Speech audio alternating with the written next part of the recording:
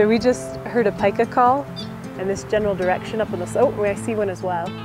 So we have a pika call and a pika sighting to record.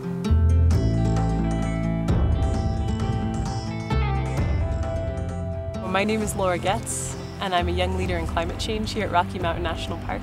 And I um, have the honor of getting to live and work out here this summer. I'm putting together a long-term monitoring program for the pika in the park.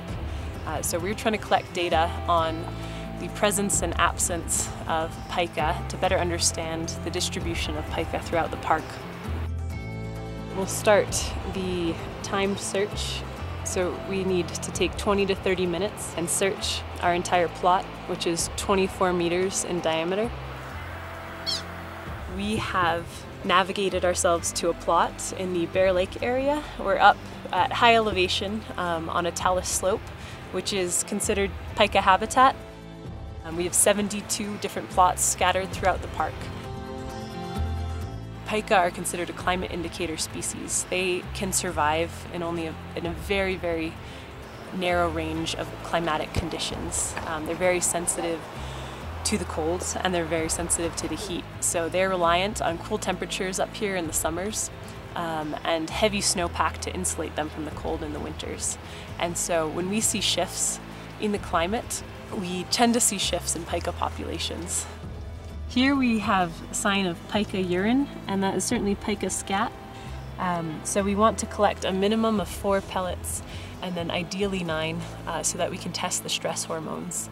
But with four, we can test for genetic material to help us understand the genetic makeup of the pika in this area and get a better sense of connectivity park-wide.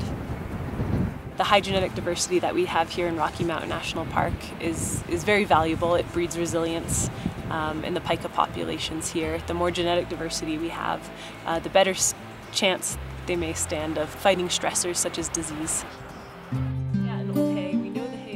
It's a wonderful opportunity to work with volunteers here in this park. They are an incredible asset. I'm definitely going to come back for more volunteership and uh, continue the PIKA project because, you know, PIKA being climate indicators, it's an important thing to research. The satisfaction I gain from the work is I just like to help the national park make sure that um, everything is, you know, monitoring that they want to monitor and I really like helping in that area you know, with the researchers providing the guidance and what data to collect, it's very beneficial for overall, you know, understanding of our, our, our changing world. My position is very temporary and there's only so much I can do in this time.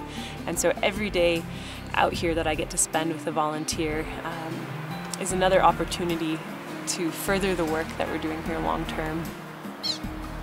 This is a great opportunity for me to gain insight into oh, climate science and what is occurring here. Just a small taste of what's occurring in this national park and in national parks across the US right now.